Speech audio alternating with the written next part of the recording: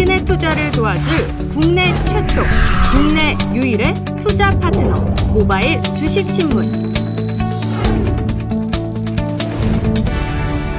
가입 문의는 인포스타 홈페이지를 참조하세요.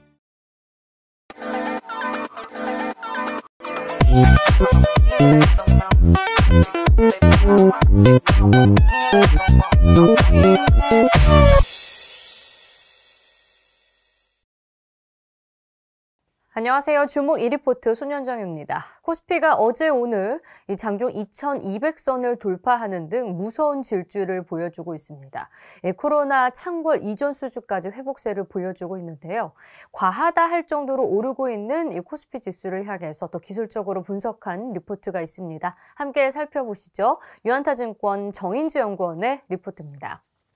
제목은 이격과다의 이중성입니다. 어, 정인지 연구원은 이 코스피의 이격도가 과하다며 매우 강한 반등이 이어지고 있다고 판단을 합니다.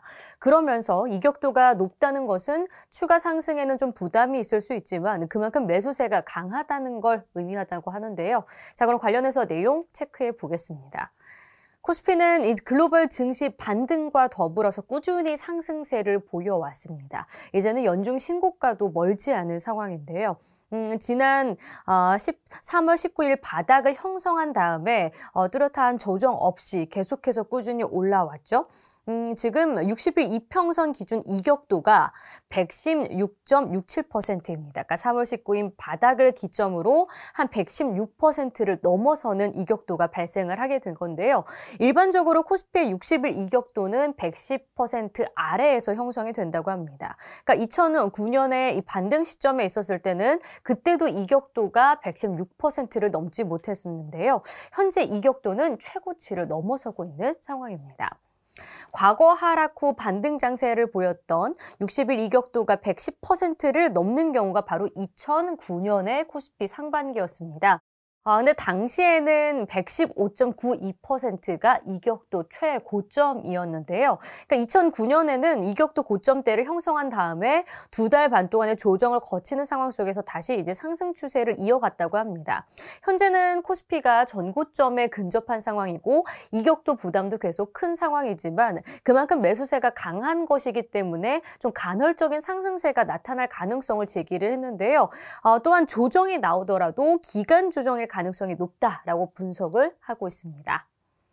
최근 미국 시장은 경제 활동 재개 기대감 속에 계속 고공행진하고 있습니다. 나스닥은 사상 최고가를 경신하기도 했고요. 특히 코로나19로 인해서 낙폭이 컸던 항공주들이 강하게 움직이고 있습니다. American Airline 같은 경우에는 이틀에 걸쳐서 약 56%나 급등하는 모습이 있었는데요. 그런데 지금 중요한 거는 음, 장중에 장대 음봉이 형성이 되면서 어, 지금 200일선 이평선을 넘지 못했습니다. 그러면서 거래량은 상당히 실렸는데요. 평소에 10배 넘는 거래가 실렸습니다. 그러니까 저항대에서 장대 음봉이 형성이 되면서 거래량이 급증하는 것은 강한 저항의 의미라고도 볼 수가 있는데요. 따라서 기대감으로 올라왔던 증시가 코로나19로 인한 봉쇄가 이제 완전히 풀리면 기대감으로 올랐던 증시가 오히려 그 확실히 해제가 되는 시점에서 탄력이 둔화될 수 있다라고 경고를 하고 있습니다. 어, 코로나19로 인한 등락 과정에서 가장 주목을 받았던 주체는 바로 동학개미 개인입니다. 그러니까 개인 투자자들이 하락과 반등 과정에서 계속 매수세를 키워가면서 어, 지금 어, 성공했다라는 평가도 있는데요. 근데 과연 동학개미 운동이 성공했을까라는 질문에 대해서는 정인주 연구원은 완전한 성공은 아니다라고 판단을 하고 있습니다. 2월 초에 코로나 이후에 시장이 급락하면서 가장 어, 지금 바닥을 형성한 3월 19일까지 개인은 약 19조 원의 매수세를 키웠습니다. 그러니까 또한 inverse ETF도 1천억 원 정도는 곧 저점 부근에서 확실히 매도를 치면서 성공적이었다라고 판단을 받고 있는데요. 그런데 문제는 바닥 형성 후 반등 과정에서 현재 성공적인 스탠스를 취하지 못하고 있다는 점을 지적하고 있습니다.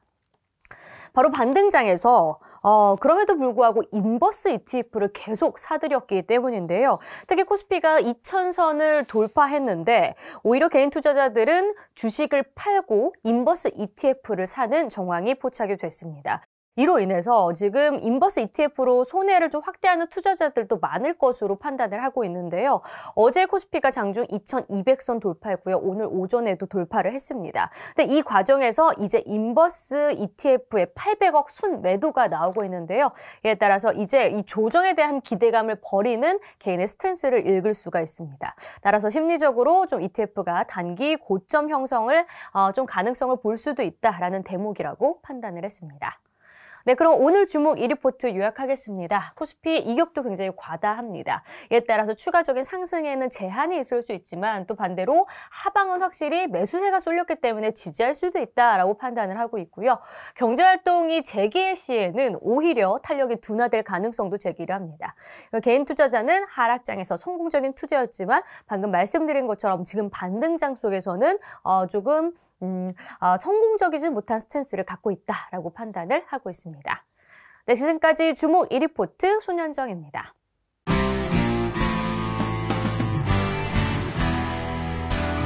한국형 블룸버그, 인포스탁 미디어 그룹, 기업을 봅니다. 인포스탁 데일리.